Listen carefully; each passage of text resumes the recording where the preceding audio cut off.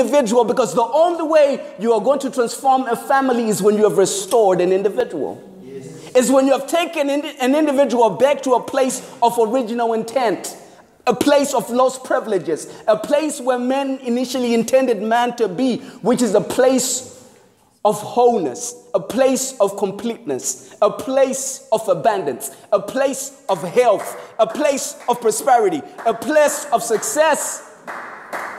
Amen.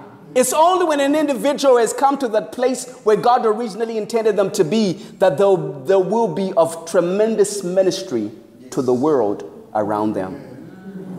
No wonder why you realize that many a times, you see, people might think oh, you know, the devil is, is busy attacking marriages. No, he's not attacking marriages, he's attacking individuals in the marriages. Amen. Because he wants to mess up the individuals in the marriages. Because what? As, as soon as these individuals in the marriages are messed up, definitely they're going to have a messed up marriage. And when the messed up marriage is going to lead to a messed up community. Yes. It's going to lead to a messed up community. So the enemy is in the business of messing up individuals. What, what the enemy is fighting is not necessarily institutions, he is fighting individuals. Because he knows what individuals are capable of doing. He knows what restored individuals are capable of doing.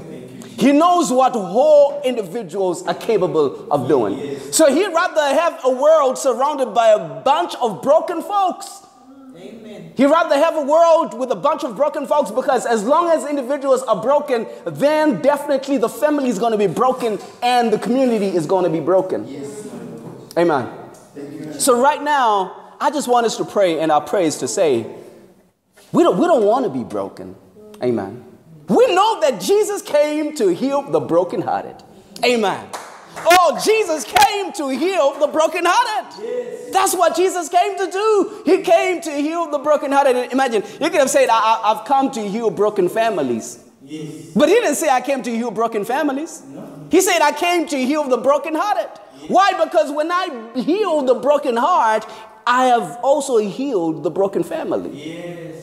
When I heal the broken heart, I've also healed the broken family.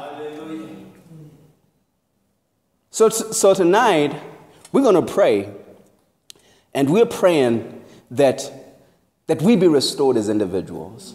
Amen. We want to experience restoration. Amen. We want to be taken back to a place of lost privileges. You know, there was, there, was a, there was a time when I was just looking at the scriptures. You remember with that scripture that's in the book of Psalms that tells us that um, He restoreth my soul. Yes. He restoreth my soul. I, I, you know, th- that word looks very simple, isn't it? He restoreth. He restore. I mean, what, you don't need a dictionary for that, do you? But you know, when I was when I, when, when I was 21 years old, I was really curious. I wondered, what does the word restore really mean?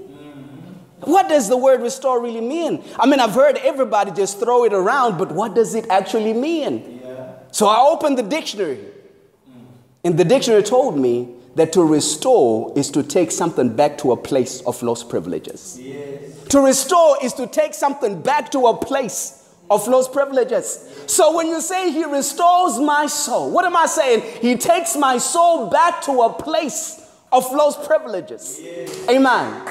He takes my soul back to a place of lost privileges. And that's where I want to be. I want to be in a place of lost privileges. Oh.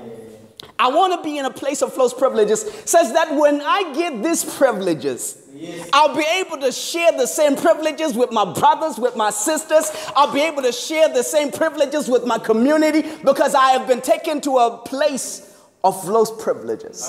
Amen.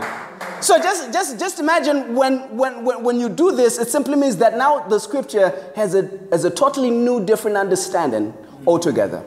And now you now when you begin to pray and you're saying, I need to go back to that place of lost privileges. Yes. Because there is a place of lost privileges. There is that place where I'm, I'm forever smiling. Amen. There is that, there is that place where I'm forever happy. Yes. There is that place where I'm, I'm forever giving life. I want to go to that place where I'm forever giving life. I want to be in that place. I want to be in a place of those privileges. Mm. That every time I open my mouth to speak, blessings are coming out. Blessings are coming out. That every time I open my mouth to speak, lives are being changed. Lives are being transformed. Why? Because I am anchored in the place of lost privileges. Because I'm anchored in the place of lost privileges. So, right now, I want us to pray, okay,